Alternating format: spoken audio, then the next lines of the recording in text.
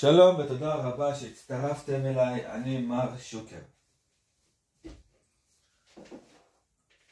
אנחנו מוכרים רק מוצרים מקצועיים, מקצועיים של סכינים. עם כל הכבוד, יש כאן בישראל שתי חברות מאוד חזקות שמפרסמות בטלוויזיה, כל מיני תוכניות וכן הלאה וכן הלאה.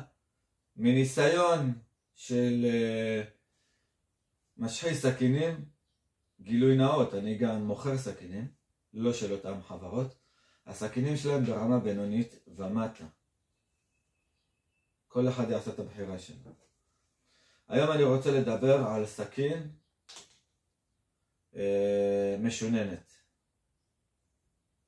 סכין משוננת זה לא סכין לבשר.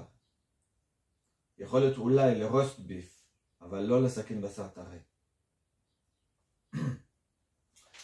הלקוח והצרכן הישראלי הממוצע משתמש בסכין חלקה למגוון משימות. זה טוב בעיקר כאשר הלקוח יודע לתחזק סכינים. אבל כאשר הלקוח חותך ירקות וכל מיני דברים כאלה, מהסכין החלקה לא יישאר לו כמעט כלום, מהסיבה שהעגבניות, אבוקדו, הציפה של האבוקדו, הציפה של הפלפל, הציפה של המנגו, הן מאוד ניילוניות או קשות, ואז הן הורסות את האזור הזה של הלהב, ומבצעות בעצם אפקט כמו שאני חותך על זכוכית, או שאני זורק את הסכין.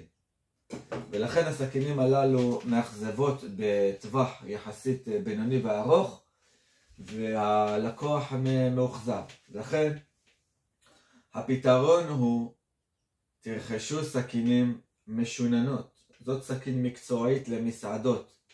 בדרך כלל לא ניתן להשחית את הסכינים הללו לאחר בליה, וגם אה, לא משתלם להשחיז אותם.